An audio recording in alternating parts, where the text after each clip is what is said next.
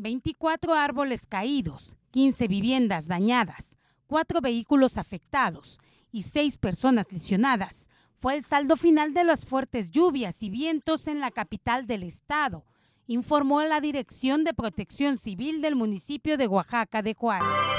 Eh, tuvimos una lluvia muy fuerte en la tarde en la ciudad capital. El recuento de los daños hasta este momento fueron 24 árboles caídos, eh, precisamente las afectaciones que, estuvimos, que tuvimos aquí en las bodegas de fruta con las dos naves este, afectadas. Eh, hay personal ahorita de servicios municipales, protección civil municipal, atendiendo los árboles que todavía quedaron pendientes. Afortunadamente lo que se hizo el día de ayer fue mitigar el riesgo a efecto de que las personas que se encontraban cercanas a, estas, a estos árboles y sobre todo las viviendas pudieran regresar a ellos. Marino Hernández López, director de la institución, señaló que la tarde de ayer, durante el recorrido que realizaron con el presidente municipal de Oaxaca de Juárez, José Antonio Hernández Fraguas, recibieron la indicación de atender inmediatamente las necesidades de la población afectada.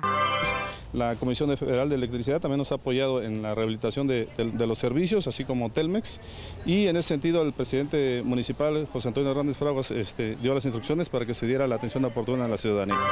Indicó que desde ayer se trabajó para dejar transitables las avenidas principales y que quienes tuvieron afectaciones en sus casas, que según el reporte son al menos 15 viviendas, pudieran regresar a ellas con tranquilidad.